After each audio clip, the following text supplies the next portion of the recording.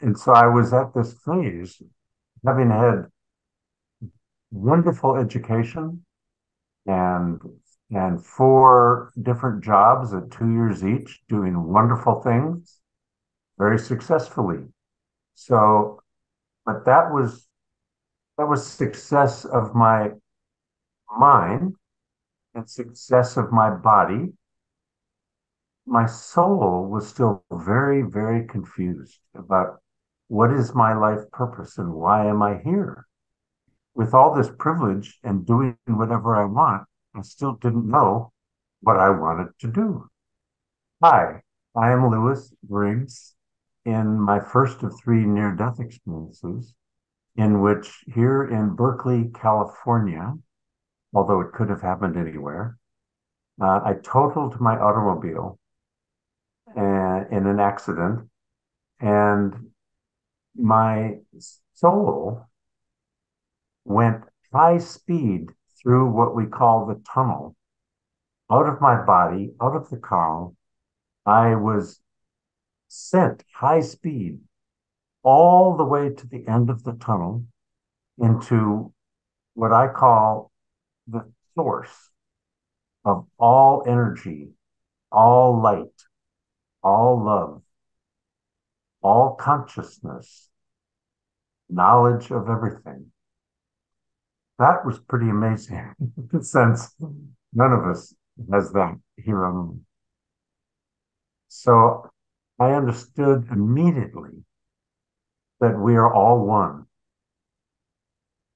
And I understood immediately that when this soul that comes from this source of energy enters our body, we no longer are just all one. We are all one and we become uniquely different here on earth. Not a conflict, they are both true. You and I are one. And we are uniquely different. We are each in the only DNA in the history of life on Earth. And therefore, we have all of our own life experiences that start to change us more and more and more and give us all of our learnings. And all of our learnings come from what we call the greatest crisis, the greatest crises, you know, that we have ever had, even if it's trauma. So there I was in that light, just feeling like, this is amazing. And then, unlike some others, I had a voice to me. That voice said to me, Lewis, you are called here to have this conversation and to be sent back because you are not doing your work. And my answer was, well, then take me. I am yours. I will do your work. Thinking I was being called to be a Christian missionary to, of course, teach you who were not raised Christian. I was told, no, Lewis, it is not my work you must do. It's your work. And I said, well, what is my work? I didn't know, remember? In my history, I told you I could do whatever I wanted but I still didn't know my life's purpose. And so the question was perfect because its words were, What is it, Lewis, that keeps you from being, not doing, being all you are capable of being? I didn't know. So I said, Let me think uh, the only thing I can imagine is that because I was raised with such privilege and education and love, and because my parents said, we're all one under God, there was no problem. But it was when they said, after they said, we're all one under God, when they said, you are special. That bothered me. I did not get arrogant about that. I thought, what do you mean if we're all one under God? And so now I know what she what they meant was because I had such privilege and was so educated and so free and so healthy that I needed to use that privilege to serve. I needed um, to give back in some, and I did not know what way I was supposed to serve with that privilege. And so I said in my answer that the only thing I am aware of is that in my entire life, I never learned how to do any of the bridging to build a relationship. So I was immediately set back down without another word. I had no idea what was going to happen. But what did start to happen was doors started to open that I had nothing to do with. That was a big learning for a privileged white boy in North America. So after 20 years of doing the work very successfully, because I now know I was called not only to be the spirit behind the doing, about why I am doing this work. It was very successful. I became a speaker. We had many videos. We did workshops, seminars, created the National Diversity Conference. But after 20 years, hmm, what else did I have to learn? Well, there came a day when uh, another one of my learnings from an open door was that I had a daughter when she graduated from a recovery school at age 15 after two years of this that she needed I said, Right. So as we were going down the river, and my 10 year old son was looking terrified on the fast water that was starting, I looked at him and said, Trust me. And so we all now smile about those words, trust me, because the next thing I'm going to tell you, I have no memory of. Okay? A 100 foot tall tree fell off the edge of the river and landed on my head and on my son's head. It missed my daughter. It fractured my son's skull, and he was drowned, I was told, in the bottom of the raft. He's okay now, even though I was still lying there with blood and fractured skull and everything. I was feeling, where's my son? Where's my son? And then I was able to just sense that he was alive. Now that I don't have to worry about that either, I could start thinking about, well, then how am I going to recover? And so the learning I got there is I want us all to understand that when we are in a crisis, mind, the body, and the spirit, the soul, will do everything possible to try to survive. Everything. Because that's our intuition, okay? And then the other amazing learning came from when I started the first week of three years of brain injury recovery because the damage was so severe that I could not walk. I could not walk. I did not know who I was or who you were, my mother, my father, wife, daughter. And it took three years to rebuild synapses in the brain to make up for the damage on the left. Now, remember, the left frontal part was the part that successfully ran my whole company for 20 years. I had to shut the whole company down, lay everybody off, stop making any new money, and be in recovery for three years. So I want people to understand that sometimes it can take that long or longer because it took three years before the hospital said, oh, well, we're going to let you go now. You're fine. But I was not fine. I was not all I could be. I was, I was fine enough to be looking sort of normal, but I could not drive yet. And there's much I could not do. Well, it took five years, two more years for my daughter a very sensitive one, remember, because she's bipolar. Before she said, Oh, now you're the same father. But the biggest learning I had, and then I will stop this experience, was in that first week, trying to walk along metal bars. I discovered that while the body was not able to do anything that I could choose, yes, the heart was working and the lungs were working, but nothing was functional. So I couldn't be a speaker. I couldn't be a father. I couldn't be a lover. I couldn't ski. I couldn't play tennis. I couldn't do anything the body likes to do.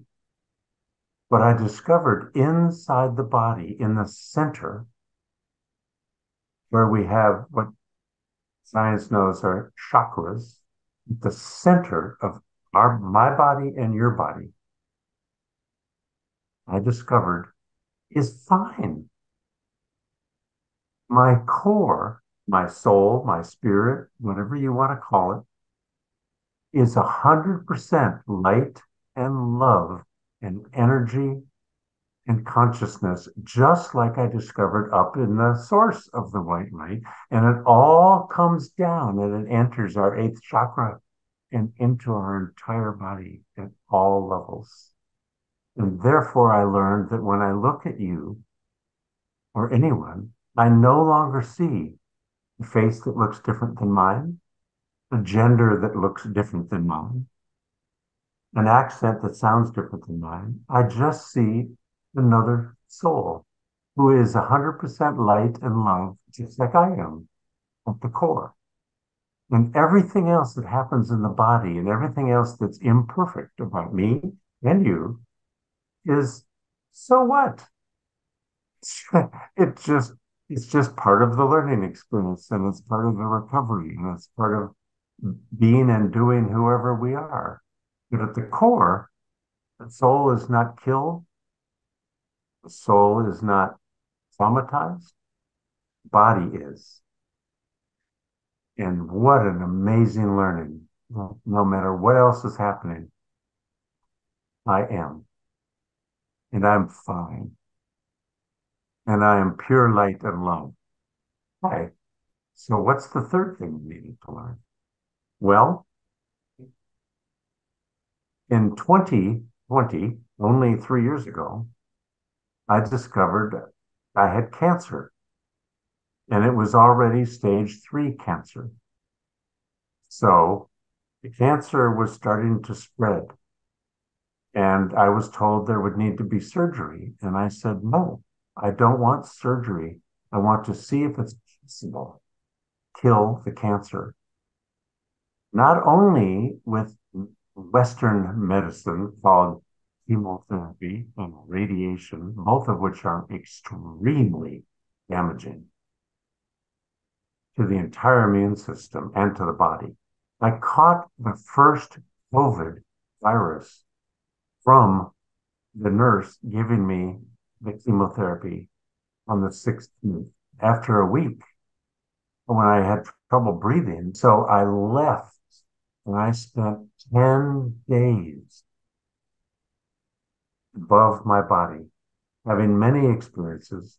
It was on the surface of a three dimensional dome with hexagonal, that means six sides, hexagonal sections. And all of us who were in ICU then were up there with me. And one morning, they somebody came and with a key unlocked these hexagonal sections in which we were all hanging with all four limbs tied to the corners, just like they had been tied in the bed, so we would not pull tubes out of every opening in our body, including the extra openings that they made. Okay? So I was all alone now for the last night, all alone on this dome. And this is a very weak metaphor, but just picture you're trying to hold yourself up on these bars. And when you're young and strong, you can pull yourself up. But if you can't, you still have to hang on. Because these bars weren't a foot off the ground. They went all the way in the light. In other words, I had to hang on in order to live. And I chose to make sure that I do not let go. I did have the opportunity to let go. And I was not afraid of dying because I know mine is pure light. But I had to live to come back and love my wife and my children who I love. And because of the damage that is happening in our country and by white men, all too often against black men or Asians or anybody else, all my diversity work had not ended. I must return and continue my work. And so, with the help of angels and with the help of doctors and the help of my wife, I, am not claiming I did it alone. The part I did that I want you to learn is that the part we all have. We can choose, as I had chosen to recover. I'm now choosing to live, not pass, with help. But I remember coming into my body again, like tight rubber gloves that you have to put on until they're completely on. And then I'm in a bed, live, but with machines and tubes everywhere. And it took three months of my inability to leave the bed with all these tubes. And I lost 60 pounds. And I couldn't even move my own body left and right. and had to move it for me. And I was afraid when they leaned me up to stand on the edge of the bed. I was afraid I'd fall. So I had to go through another long recovery period in one year before I could breathe oxygen without a machine. And now every breath I take is a gift and enough for this moment. And everything else, remember, is just fine, even though it's not all pleasant and I have to learn more. So that's those are my three near deaths, and those are my three learnings. And what makes me grateful right now to just be alive and breathing and with you. And I thank also all of you who have been listening and watching. Um, I I hope you have learned something that you can use because I love the phrase, take what you can use and leave the rest. Meaning, even if you only liked 10% of what I'm sharing, great. That's enough.